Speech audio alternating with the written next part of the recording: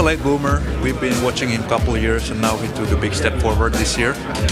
Obviously, got stronger and faster, so that's that's the reason. Like you saw the talent there, but you were not sure how far it will go, and uh, now it looks like he's going to be a pretty good player one day.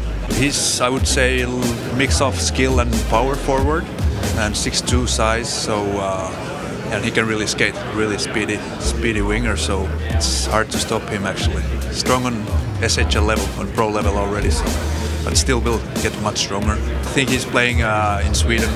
Most likely now he has a deal there and good spot where to play. So for me, it sounds like the best choice right now. But let's see what happens after this season.